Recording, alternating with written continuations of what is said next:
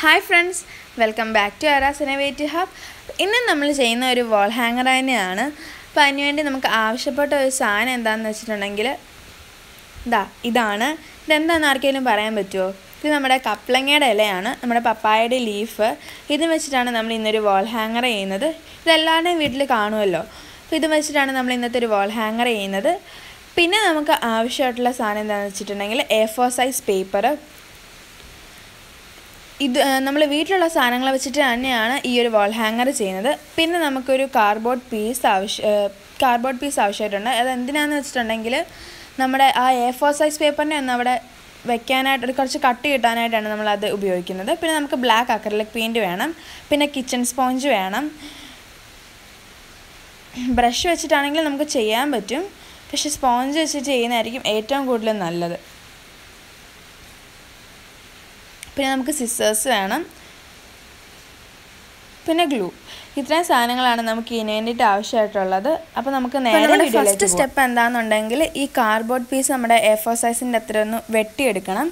അപ്പോൾ നമുക്ക് അതിന് വേണ്ടിയിട്ട് എ ഫോർ സൈസ് പേപ്പർ അതിലൊന്ന് ഒട്ടിച്ചു കൊടുക്കാം. ഗ്ലൂ വെച്ചിട്ടൊന്ന് പേസ്റ്റ് ചെയ്ത് കൊടുക്കാം.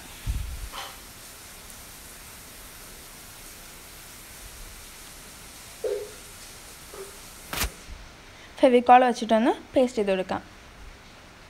ഇപ്പം നമ്മുടെ എ ഫോർ സൈസ് ഷീറ്റൊക്കെ അവിടെ ഇങ്ങനെ ഒട്ടിച്ച് കൊടുത്തിട്ടുണ്ട്. ഒട്ടിക്കുമ്പോൾ ശ്രദ്ധിക്കേണ്ട ഒരു കാര്യം എന്താണെന്നുണ്ടെങ്കിൽ ഗ്ലൂ കുറേ അപ്ലൈ ചെയ്ത് കൊടുക്കല്ല? കുറേ ചെയ്തിട്ടുണ്ടെങ്കിൽ അവിടെ ആണെങ്കിൽ ഇങ്ങനെ പൊങ്ങി പൊങ്ങി വരും. അപ്പോൾ ഗ്ലൂ കുറച്ച് മാത്രം ഉപയോഗിക്കാം. നമുക്ക് ആ എ ഫോർ സൈസ് ഷീറ്റിന്റെ അതിലൊന്ന് നമ്മുടെ കാർഡ്ബോർഡ് കട്ട് ചെയ്തെടുക്കാം.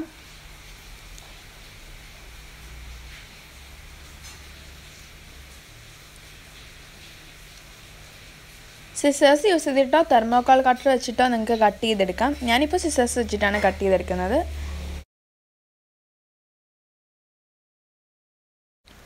അപ്പോൾ നമ്മുടെ കാർഡ്ബോർഡൊക്കെ എ ഫോർ സൈസ് ഷീറ്റിന്റെ അതുപോലെ വെട്ടിയെടുത്തിട്ടുണ്ട്. നല്ല പെർഫെക്റ്റ് ആയിട്ട് വന്നിട്ടുണ്ട്. നമ്മുടെ വാൾ ഹാങ്ങർ ഈ ഒരു പാറ്റേണിൽ തന്നെയാണ് വെക്കുന്നത്. അല്ലാതെ തീച്ചല്ല വെക്കുന്നത്. അപ്പോൾ നമുക്കിനി അടുത്ത പരിപാടി എന്ന് വെച്ചിട്ടുണ്ടെങ്കിൽ നമ്മുടെ ഈ സാധനം ഒന്ന് അവിടെ ഫിറ്റ് ചെയ്ത് കൊടുക്കണം. അപ്പോൾ അതിന് വേണ്ടിയിട്ട് ജസ്റ്റ് ഒന്ന് വെച്ചിട്ട് ഒന്ന് അമർത്തിയാൽ മതി. കപ്ലങ്ങയുടെ ഇലയൊക്കെ എടുക്കുമ്പോൾ അതിൽ വെള്ളം ഉണ്ടാവാൻ സാധ്യതയുണ്ട്. അപ്പോൾ നമ്മളത് ടിഷ്യൂ പേപ്പർ വെച്ചിട്ട് ഒന്ന് തുടച്ച് കളയുക ഇല്ലാന്നുണ്ടെങ്കിൽ നമ്മുടെ പേപ്പറിൽ പറ്റും. അപ്പോൾ നനഞ്ഞിരിക്കും. അതുകൊണ്ടാണ് തൂത്ത് കളയുന്നത്. ഇല കീറാതെ ശ്രദ്ധിച്ച് വേണം തുടയ്ക്കാനായിട്ട്.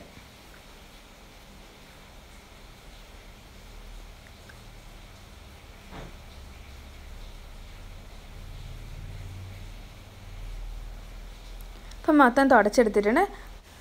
ഇനി നമ്മുടെ അടുത്ത പരിപാടി എന്ന് വെച്ചിട്ടുണ്ടെങ്കിൽ എ ഫോസ് ഷീറ്റിൽ അതൊന്ന് വെച്ച് കൊടുക്കണം. നമ്മുടെ ലീഫ് ഒന്ന് വെച്ച് കൊടുക്കണം. നമുക്ക് ഇഷ്ടമുള്ള രീതിയിൽ വെച്ച് കൊടുക്കാം. ജസ്റ്റ് ഒന്ന് വെച്ചിട്ട് പ്രസ് ചെയ്ത് കൊടുത്താൽ മതി. അവിടെ ഒന്ന് ഫിറ്റ് ആവാനായിട്ട്. ഞാനിപ്പോൾ ഒന്ന് ചെരിച്ചാണ് വെക്കുന്നത്. നമ്മുടെ എ ഫോസ് ഷീറ്റിൽ ഒതുങ്ങുന്ന ഒരു ലീഫ് മാത്രമേ എടുക്കാവുള്ളൂ.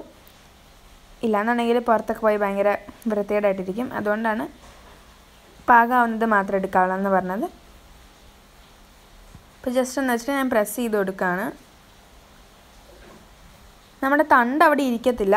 കാരണം തണ്ട് ഇങ്ങനെ കുറച്ച് പൊങ്ങിയാണ് നിൽക്കുന്നത്. അപ്പോൾ നമുക്കത് അവസാനം വരച്ചു കൊടുക്കാം.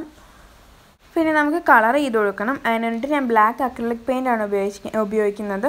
നമുക്ക് അക്രിലിക് പെയിന്റ് തന്നെ വേണമെന്നില്ല. വാട്ടർ കളറോ പോസ്റ്റർ കളറോ എന്ത് കളർ വേണമെങ്കിലും ഉപയോഗിക്കാം. ഞാനിപ്പോൾ എന്റെ കയ്യിൽ ഉണ്ടായതുകൊണ്ട് എടുത്തതേ ഉള്ളൂ.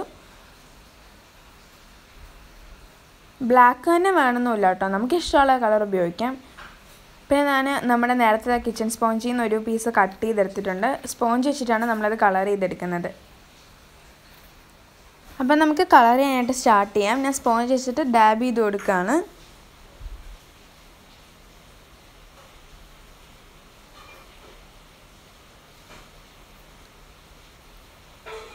നമ്മൾ ഡാബ് ചെയ്യുമ്പോൾ സൂക്ഷിച്ച് ചെയ്യണം. കാരണം നമ്മുടെ ആ ലീഫിന്റെ അകത്തേക്കൊന്നും പോവാതെ ശ്രദ്ധിക്കണം.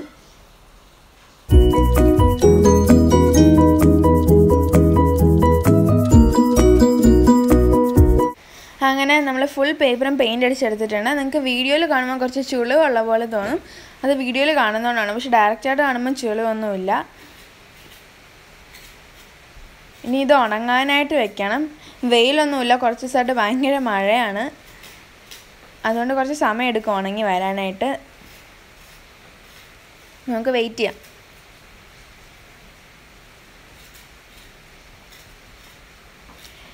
കുറച്ച് ഉണങ്ങി കഴിയുമ്പോൾ നമുക്ക് ആ ലീഫ് അങ്ങ് പൊളിച്ചെടുക്കാം. അപ്പോൾ നമ്മൾ അടിച്ച് കഴിഞ്ഞതല്ലേ ഉള്ളൂ. കുറച്ച് കഴിയട്ടെ എന്നിട്ട് നമുക്ക് പൊളിച്ചെടുക്കാം. അപ്പം നമ്മുടെ പെയിന്റൊക്കെ ഏകദേശം ഉണങ്ങിയിട്ടുണ്ട്. അപ്പം നമുക്കിനി പൊളിച്ചെടുക്കാം. പൊളിക്കുമ്പോൾ ശ്രദ്ധിക്കേണ്ട ഒരു കാര്യം എന്താണെന്ന് വെച്ചിട്ട് പെട്ടെന്ന് പോയി പൊളിക്കരുത്. അങ്ങനെ പൊളിച്ചിട്ടുണ്ടെങ്കിൽ അവിടെ ഇവിടെയൊക്കെ പെയിന്റ് ആയിട്ട് ഭയങ്കര ബോറായിരിക്കും കാണാൻ. അപ്പോൾ നമ്മൾ ശ്രദ്ധിച്ച് വേണം പൊക്കാൻ. തണ്ടിൽ പിടിച്ചിട്ട് മെല്ലെ ഒന്ന് പൊക്കി കൊടുത്താൽ മതി.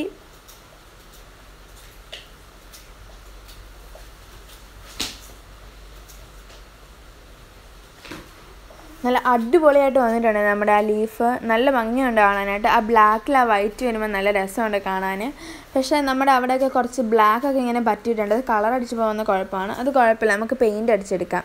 വൈറ്റ് പെയിന്റ് അടിച്ചെടുക്കാം മൊത്തം. ആ ലീഫ് മൊത്തം ഒന്ന് പെയിന്റ് അടിച്ചെടുക്കാം. പിന്നെ നമ്മൾ തണ്ടും വരച്ചിട്ടില്ലായിരുന്നു. നമ്മുടെ തണ്ട് അവിടെ ഫിറ്റ് ആയിട്ടില്ലായിരുന്നു. അപ്പോൾ തണ്ടും കൂടെ നമുക്ക് വരച്ചു കൊടുക്കണം. എന്നാലേ നമ്മുടെ ലീഫ് അങ്ങനെ പൂർണമാവുള്ളൂ. അപ്പോൾ നമുക്കിനി നമ്മുടെ ലീഫ് ഒന്ന് പെയിന്റ് അടിച്ചെടുക്കാം. അപ്പോൾ അതിന് വേണ്ടിയിട്ട് നമുക്ക് വൈറ്റ് അക്രലിക് പെയിന്റ് ആണ് യൂസ് ചെയ്യുന്നത്. ഫ്ലാഷിന്റെ അക്രലിക് പെയിന്റ് ആണ്.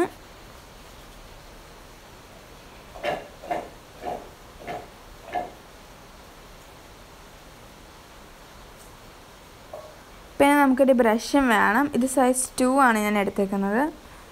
അതും വെച്ചിട്ടാണ് നമ്മൾ പെയിന്റ് അടിക്കാൻ പോണത്.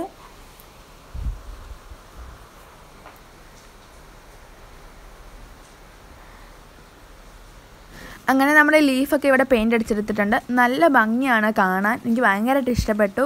അപ്പം നിങ്ങൾ എല്ലാവരും ട്രൈ ചെയ്ത് നോക്കണം. നമ്മുടെ വാൾ ഹാങ്ങിങ് ഒക്കെ പറയുമ്പോൾ ഒരു കോട്ടും കൂടെ വേണ്ടേ? ഒരു ഇൻസ്പിറേഷനായിട്ട് ഒരു കോട്ടും കൂടെ വേണമല്ലോ അപ്പോൾ അതുകൂടെ നമുക്കിവിടെ എഴുതി കൊടുക്കണം. അപ്പം നമുക്കിനി കോട്ട് എഴുതാം. Fall leaves are falling and new beginning is calling ഈ ഒരു കോട്ടാണ് നമ്മളവിടെ എഴുതി കൊടുക്കുന്നത്. ഇപ്പോൾ ഗൂഗിളിൽ നിന്ന് കിട്ടിയൊരു കോട്ടാണ് ഇതാണ് ആ ഒരു കോട്ട്.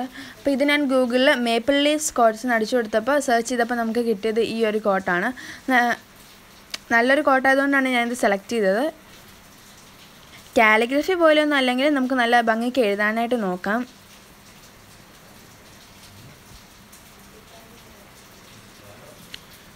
വൈറ്റ് അക്രലിക് പെയിന്റും പിന്നെ ഒരു സിക്സ് ബ്രഷും യൂസ് ചെയ്തിട്ടാണ് നമ്മളത് എഴുതി കൊടുക്കുന്നത്.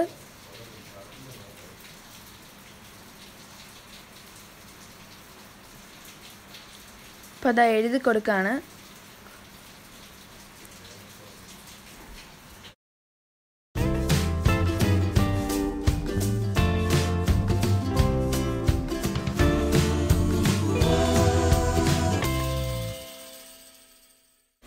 കോട്ട് കഴിഞ്ഞപ്പോൾ കുറച്ച് പോർഷനിലൊക്കെ ഡാർക്ക് അല്ല അപ്പം നമുക്ക് ഡാർക്ക് ചെയ്തിട്ട് കാണാം.